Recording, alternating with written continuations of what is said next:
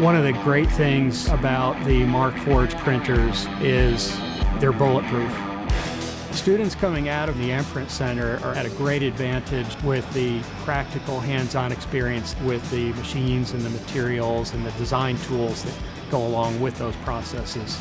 I've been doing metal additive for over 15 years, and one of the things that I was interested in with the Metal X was being able to design parts that had a solid skin on the surface, but complex geometries on the inside that would be impossible to make with powder or liquid types of processes. The environmental health and safety concerns that come up with loose powders, that's a benefit as well.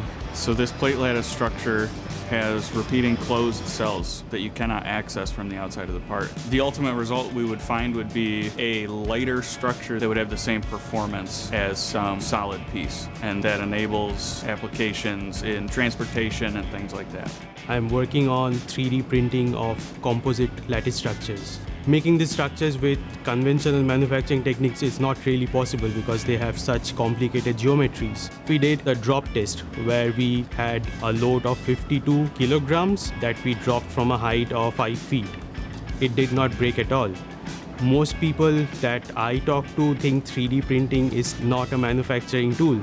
And with this test, we have the data that can prove them wrong to a student population, additive manufacturing really accelerates innovation and learning because they can go from an idea to a functioning prototype in their hand in such a small amount of time. So, a fun project that we've given to our students to really bring together everything that they learned was the robotic fish. One of the students was in the 3D printing class and also working in my lab at the time and decided that he wanted to try printing something that had variable thickness and basically gave the tail variable stiffness. The students all gravitate toward 3D printing, and from my perspective, it's a perfect fit. Our Rocket Club uses 3D printing in order to achieve custom geometries for our rocket that would be traditionally unfeasible. Unfortunately, due to a manufacturing defect with our rocket's engine, there was an explosion on launch. However, Markforged 3D printed parts were some of the few parts that survived and are intact.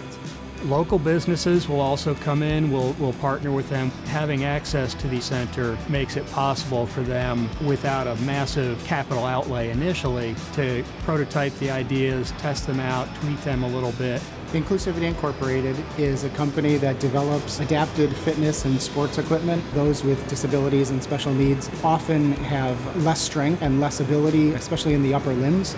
The students at RIT 3D printed the gears in our product. Many of the other gear systems that we found were much heavier, so we went with the Onyx because it was much stronger, much sturdier, and lightweight. What I really love about teaching students about 3D printing is it opens their eyes to a lot of things that they didn't know were possible, and they get to realize their ideas so much more quickly than was ever possible when I was their age.